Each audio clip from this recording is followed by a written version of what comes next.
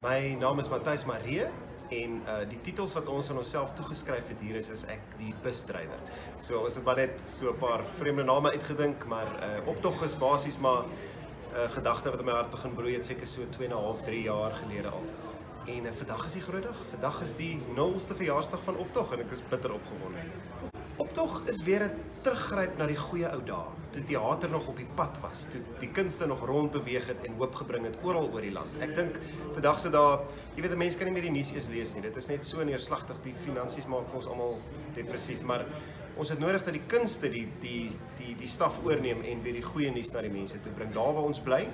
Ek voel oor die afgelope dekades het dit al hoe meer gegraviteer na die stede toe, maar stad hierdie kunste weer teruggaan na die platteland toe reg oor die lente en breedte van Suid-Afrika.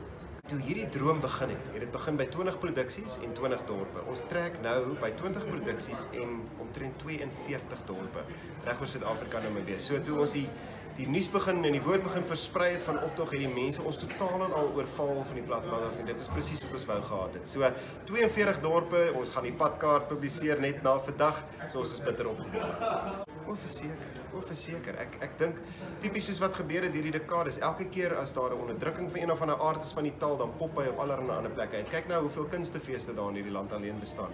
So ons kom nie as oppositie vir die kunstefees nie, ons is daar in die vakuum tussen waar al die kunstefeeste is en ons wil net al die drade en die pype met mekaar konnekteer dat dat dit 'n groot kunstige geheel en 'n wonderlike karnaval kan wees vir Suid-Afrika. Afrikaans.com Jou tuiste vir alles oor Afrikaans.